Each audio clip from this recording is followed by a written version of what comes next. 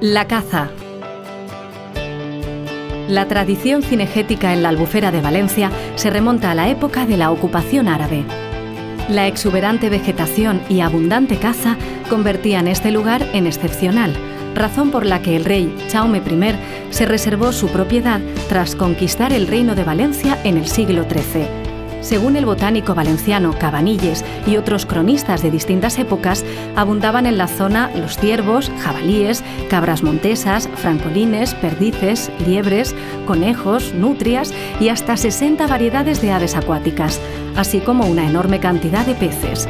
Como un rincón del paraíso, lo definían a mediados del siglo XIII. La caza se continuó arrendando a lo largo de los años, organizándose las tiradas y la subasta de los puestos.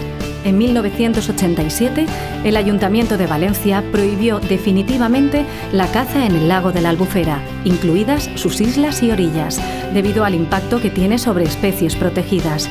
Además de la albufera, no se puede cazar en la Devesa ni en las áreas de reserva como los tancats de la Raya y de la Pipa, la Basa de Sant Llorenç, Ullals de Namolins, etc.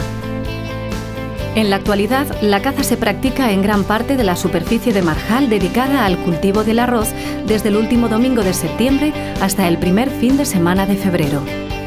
Por un lado están las zonas declaradas como vedad, en las que se concentra la mayor parte de las aves acuáticas de la albufera y donde el tránsito de vehículos y personas está restringido.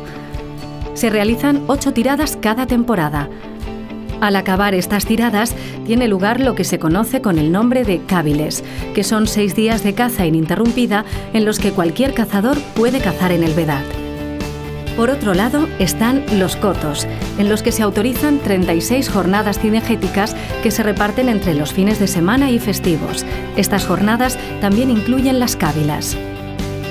Las especies más cobradas, tanto en sueca como en cuyera, son el ana de rabudo y el pato colorado, en Silla, en cambio, es la focha la especie mayoritaria.